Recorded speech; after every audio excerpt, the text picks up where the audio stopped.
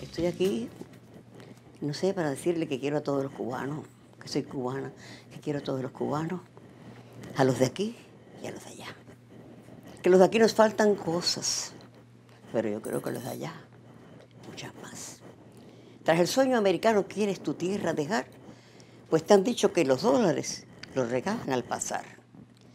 ¿Qué sabes tú de los billes, de los down, de los tax, de forloches y de morgues, de seguros, de hospital, de trampas y de violencias, de los sub, de la crueldad?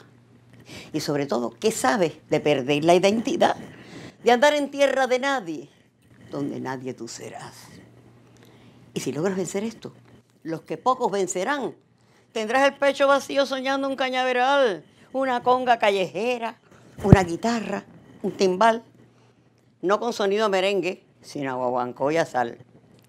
Miren, yo puedo entender aquel que se fue por ideal, por diferencias políticas o por fortunas cuidar.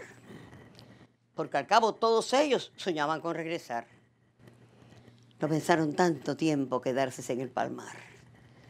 Pero me duele que ahora pongas tu vida a bogar a merced sobre las olas sin saber a dónde vas.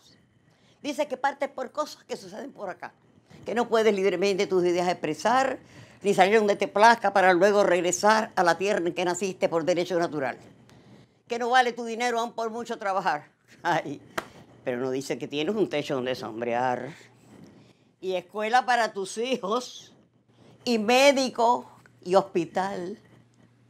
Deja que vivas de cerca la llamada libertad, donde hay mucho y hay de todo, que a todos no llegará.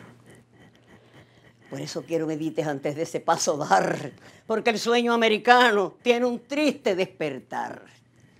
Yo quiero a todos los cubanos, más me los de allá, porque el hambre de nosotros con pan se puede calmar, pero el hambre de las almas las que no logran la paz, esa enfermedad terrible que no se puede curar.